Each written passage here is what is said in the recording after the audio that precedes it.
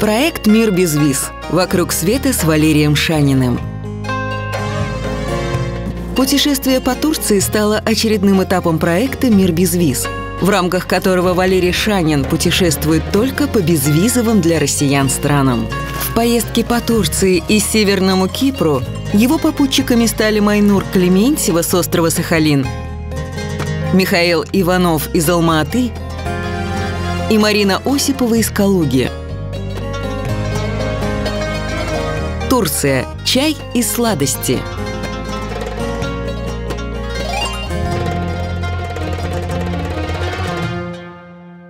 Путешествие началось в Стамбуле. Здесь находятся самые крупные и оживленные аэропорты Турции. В этот город проще, дешевле и удобнее лететь из Москвы. Стамбул – город с богатой тысячелетней историей. Город дворцов, мечетей, парков, фонтанов, восточных базаров и шумных улиц.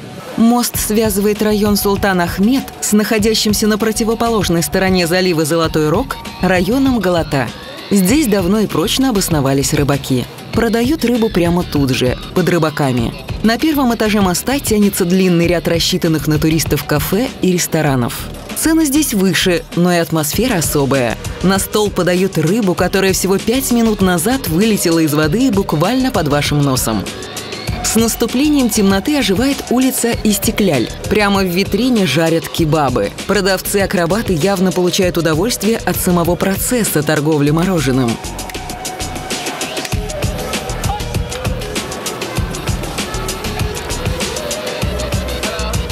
В магазинах оживление. Кажется, весь город с наступлением темноты пришел на эту улицу.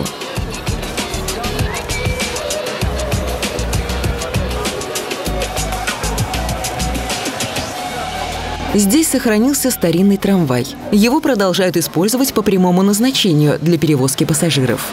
Но по вечерам у вагона появляется еще одна функция. Он становится передвижной концертной площадкой.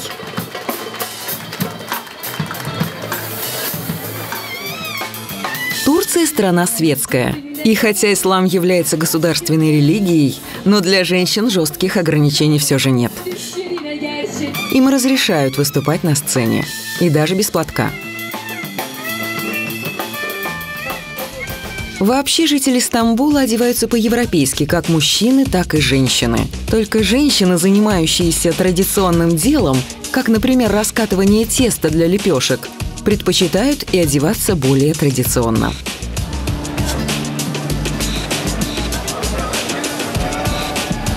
Шаурму жарят не в палатках и киосках, а прямо тут же на тротуаре, чуть ли не под ногами у прохожих.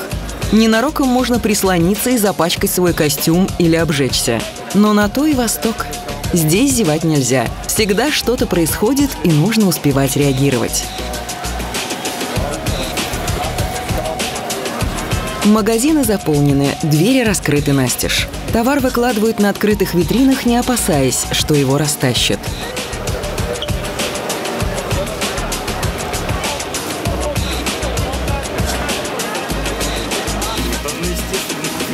Скоростной трамвай – один из самых современных видов транспорта. Он ходит ничуть не медленнее, чем подземное метро. По пути в гостиницу Валерия рассказывает своим попутчикам о том, что их ждет в ближайшие дни, к чему нужно готовиться.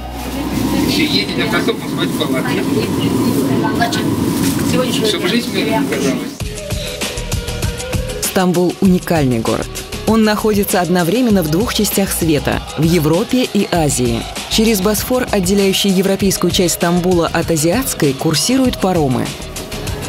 В азиатской части Стамбула есть и оживленный грузовой порт, и железнодорожный вокзал, на который прибывают поезда из крупных городов Анатолии. Вызник, в который как раз и направляются наши путешественники, железную дорогу пока не провели. Но автобусы туда ходят регулярно. Чтобы не ехать вокруг Мраморного моря, часть пути они преодолевают на пароме.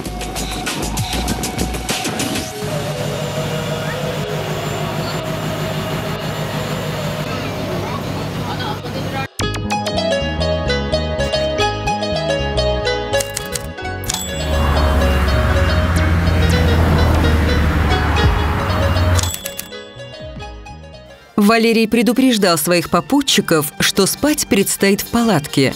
Слукавил. Первую ночь провели прямо под открытым небом.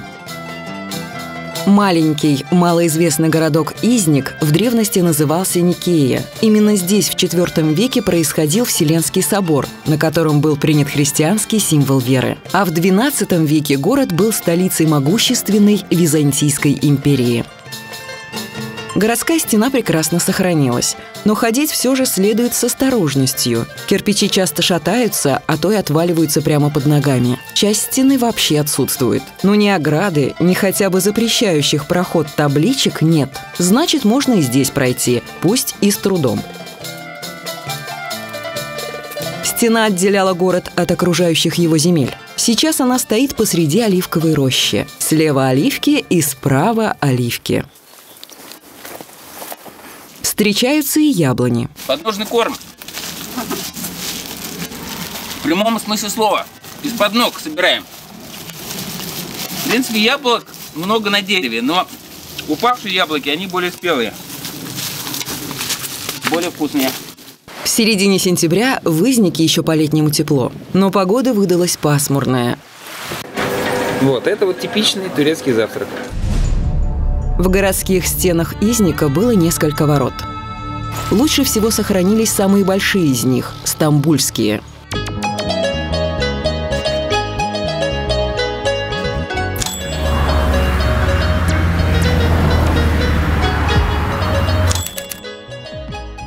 Автовокзал, как и в большинстве крупных городов Турции, находится за городом. До центра приходится добираться на городском автобусе. Путешественники поселились в гостинице и сразу же отправились в баню.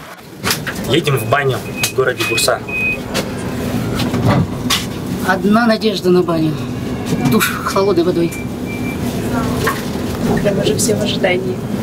Бурса – родина Османской империи. Здесь сохранилось много старинных мечетей, и посещать их можно только чистым – и умом, и телом.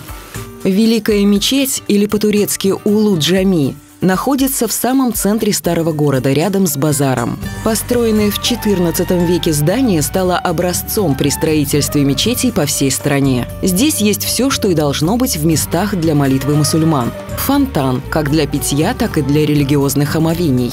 Ниша в стене, украшенная двумя колоннами и аркой, указывает направление на Мекку. Пол застелен ковром, Стены с арочными окнами, через которые внутрь проникает много света, украшены цитатами, выполненными каллиграфическим почерком арабской вязью.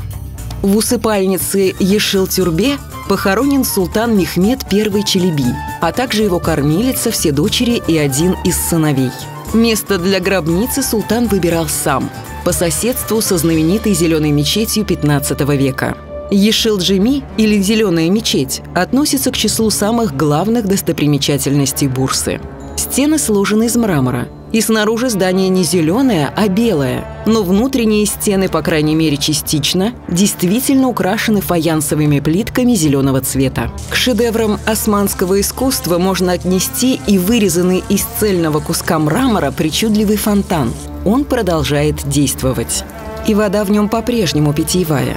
Вход туристам разрешен, независимо от их национальности и веры. При входе нужно снять обувь, а женщинам обязательно покрыть голову платком.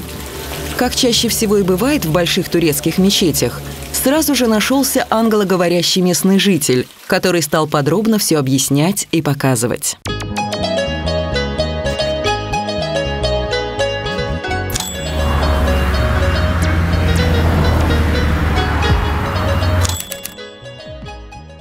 Кютахью приехали поздно ночью. Добираться в потемках до центра города не стали. Поставили палатку на поле недалеко от автовокзала.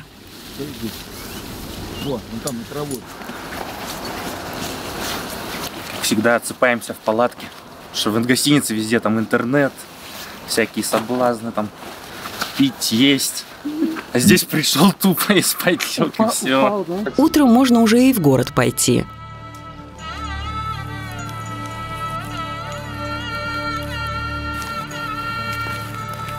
Там и позавтракать. Мерджимек чорбасы – густой турецкий суп-пюре из чечевицы. Перед употреблением нужно обязательно выдавить в тарелку дольку лимона, с ним вкуснее. Кютахья – один из древнейших городов на территории Турции. На вершине возвышающейся над центром старого города скалы сохранились руины крепости, существовавшей уже при римлянах, бастионы, фрагменты полуразвалившихся стен, и самое главное – вид с высоты птичьего полета на черепичной крыше старых зданий, которыми застроен центр Кютахьи. Видны сверху и спальные районы с однотипной застройкой. Улуджами, или Великая мечеть, строилась в XIV веке. Затем ее несколько раз перестраивали. К одной из реконструкций приложил руку и самый знаменитый архитектор Османской империи Мимар Синан – Внутри есть все, что и должно быть в типичной османской мечети. Даже фонтан с питьевой водой. Город Кютахья известен на всю Турцию как место производства оригинальной керамики, которую производят начиная с XIV века. Рядом в здании Медресе Ваджидие еще один музей – археологический. Архитектурные фрагменты, античные статуи, монеты, исторические документы, горшки. И звезда коллекции – мраморный римский саркофаг – в центре Кютахьи не так уж и много исторических достопримечательностей. Как это обычно и бывает в Турции, центральные улицы занимают магазины. Туристов пытаются удивить сравнительно новыми сооружениями – фонтанами, скульптурами, сувенирами. С голоду тоже не умрешь. Буквально на каждом шагу есть уютные кафе и ресторанчики. В булочных продают только свежеиспеченный хлеб.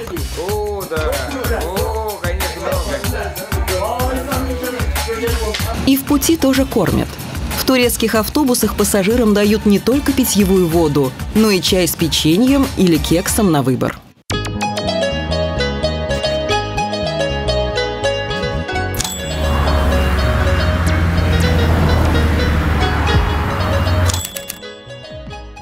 До Чавдархисара путешественники доехали на рейсовом автобусе, а до руин античного города Айзаной добирались уже на попутном тракторе. От храма Зевса II века нашей эры сохранилось около 10 колонн. Две стены, огромный подвал с саркофагом. Крыши нет совсем. Храме было много статуй, но до наших дней сохранилась только статуя древней богини Кибеллы. Римляне не могли и представить себе комфортной жизни без возможности часто и с комфортом мыться – Тело должно быть не только чистым, но и здоровым. В здоровом теле здоровый дух. Это тоже от них пошло. Вот и здесь, прямо рядом с баней, огромный стадион. А как же без духовного развития? Никак. Тут же построили и театр. На территории Турции сохранилось много античных руин и древних памятников. На большую часть из них, как и в музее, вход платный. Билеты зачастую достаточно дорогие – Турецкое министерство туризма прилагает неимоверные усилия, чтобы отвлечь хотя бы часть туристов от пляжного отдыха. Активно рекламирует все богатства исторического и культурного наследия страны. Для представителей прессы вход на все руины в музее бесплатный. То есть тебе будка моя нужна, а тебе вот я не знаю, что надо. Но знаю. Айзаной занимает большую территорию. Раскопана только малая часть ее – Отдельные здания и обломки встречаются повсюду. Прямо посреди деревни вдруг натыкаешься на основание античного храма, а рядом украшенная мраморными колоннами античная улица –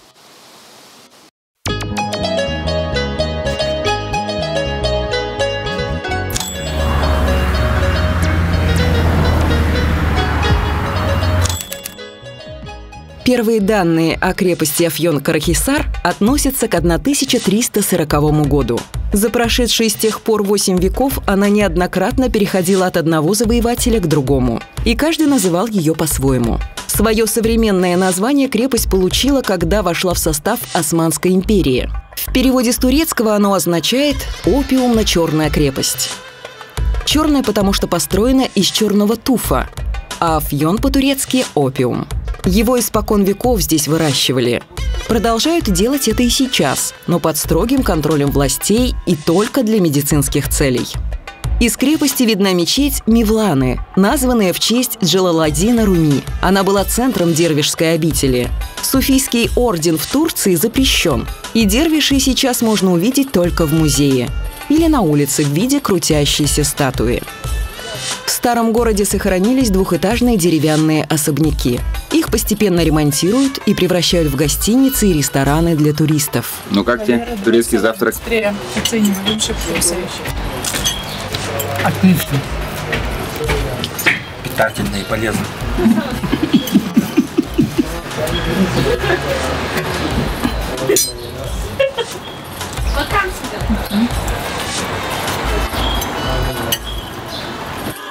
Во Фьюне любят восточные сладости и умеют их готовить. Семья Миримаглу с 1860 года делает халву, лукум, конфеты, баклаву. Качество на самом высоком уровне и цена доступная. Ну как вкус?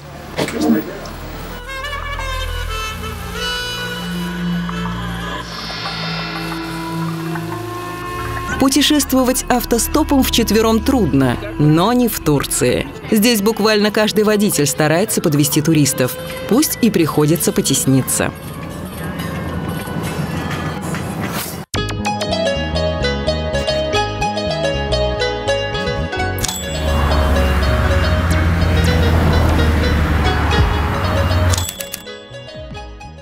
Обширную территорию между Кутахьей и Афьоном называют Фригийской долиной. Она в древности входила в состав античной Фригии. Здесь были большие города и бесчетное множество населенных пунктов. Сейчас на их месте поля и турецкие деревни. Все, что было построено фригийцами, развалилось.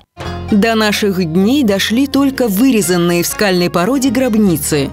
Да и то лишь потому, что они обычно находятся в непригодных для жилья скалах.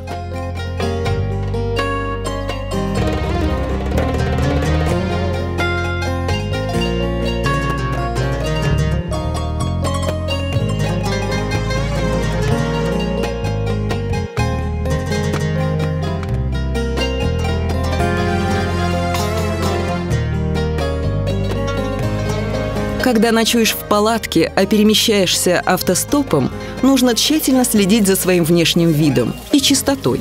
К счастью, в Турции бесхозной воды много. Так, ребята, начали. Ой, холодно. Ну, а вы думали, в сказку попали? Я думала, в Сочи. В глухих сельских районах указателей на дорогах мало. Ориентироваться тяжело. Местные жители вызываются помочь. Общаться часто приходится на пальцах, но понять друг друга обычно удается. Когда будет? Когда? Он, он, а bak bak. Bak. Ee, on, on yazıyor. Ha. Он, он. Бурая. Он, я Он, поняла. он, он. 10. А дальше-то что? 10 часов давно прошло. Через 10 минут, что ли? Он говорит 10. On kilometre. Он километр. 10 А, километров. Он километр? Хан, 10 километров? Пешком. Пешком дойдем. Городок Хан был основан фригийцами. В центральном сквере установили памятники фригийским королям и принцессам. А в скале на окраине города сохранились несколько фригийских гробниц и длинный туннель. Ничего себе! Смотри, там метров на 100. Ну, минимум. В Турции наряду с пафосными ресторанами есть и скромные столовые. Их называют лакантасы. В меню, как правило, только несколько блюд. Самых дешевых и простых в приготовлении. Обычно это чорба, тушеная фасоль и овощи. Для мясоедов курица, реже баранина. Обстановка тоже без претензий на шик, но чисто. Я очень... Evet, çorba. Bir. Да.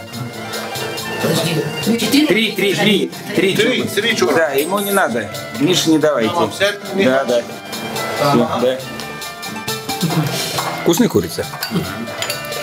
В таких заведениях обычно нет наемного персонала. Работают члены одной семьи, начиная с самого раннего возраста.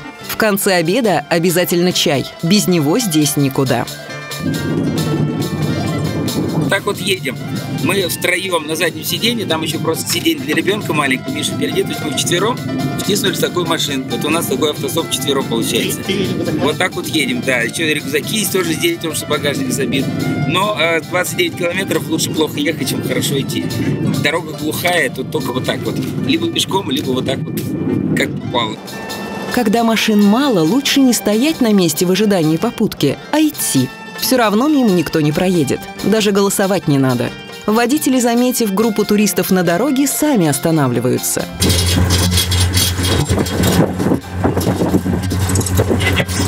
Грузовичка Сибирякиза. 53 километра.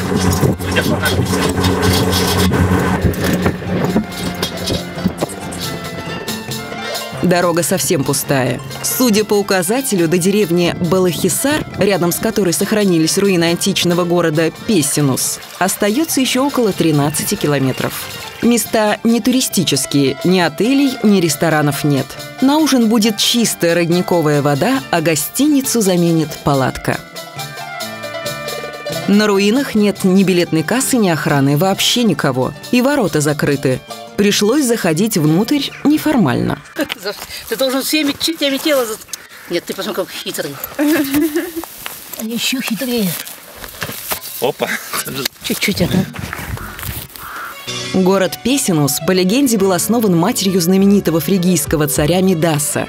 В храме богини Кибелы на алтаре хранился гигантский метеорит конусообразной формы. Позднее его перевезли в Рим. Город благополучно жил и без метеорита. Его разрушили в 715 году арабы. Раскопки начались в 1967 году и продолжаются до сих пор. Уже удалось раскопать основания нескольких храмов, отдельные колонны и почти целый амфитеатр. После того, как путешественники все облазили и отсняли, появился охранник. Оказывается, здесь вход в руины свободный. Ворота закрывают только на ночь. Чтобы любители лазить по развалинам, ноги не переломали.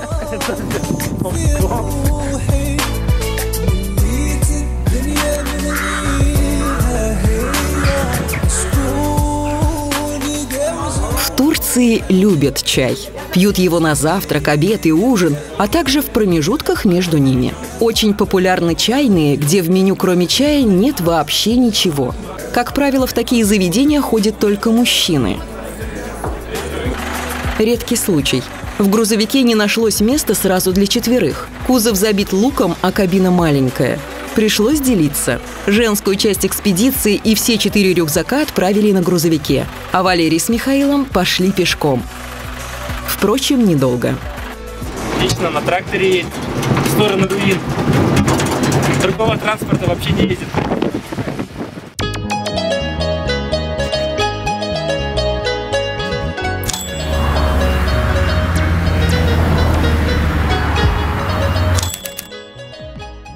Гордион. Об этом городе знают все, кто не спал на школьных уроках истории. Именно здесь Александру Македонскому показали сложный узел. Он достал меч и разрубил узел одним решительным ударом. В самом начале 20 века начались раскопки.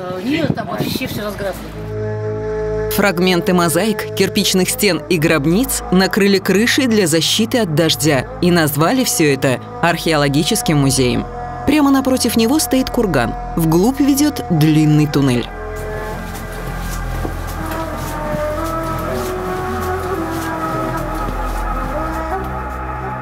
Он приводит к погребальной камере. Здесь археологи нашли гробницу самого известного фригийского царя Мидаса.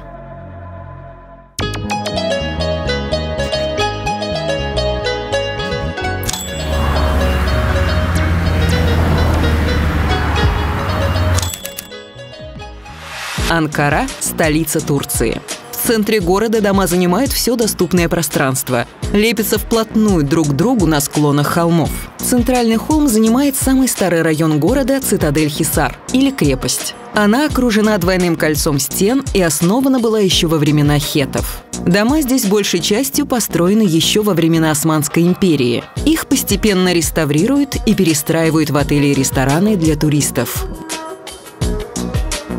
Четырехэтажный замок, расположенный в самой высокой точке крепости на высоте 978 метров над уровнем моря, был построен из камней, взятых на руинах античных зданий. Здесь всегда можно увидеть туристов, но особенно много их перед закатом. Именно с этой точки его наблюдать удобнее всего. Храм Августа и Рома – самый яркий памятник, оставшийся со времен Римской империи.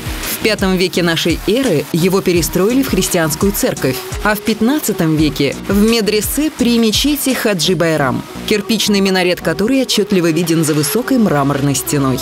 Мустафа Кемаль, годы жизни 1881-1938, известный как Ататюрк или Отец Турок, в 1918 году на руинах Османской империи основал Турецкую республику. При нем были проведены реформы, направленные на демократизацию и европеизацию страны. Памятники Ататюрку стоят в каждом турецком городе. Его именем названы улицы и площади. Мавзолей строился с 1944 по 1953 год. В результате получился грандиозный архитектурный комплекс, который вместе с окружающим его парком занимает 750 тысяч квадратных метров. Ежегодно сюда приходит около трех миллионов человек.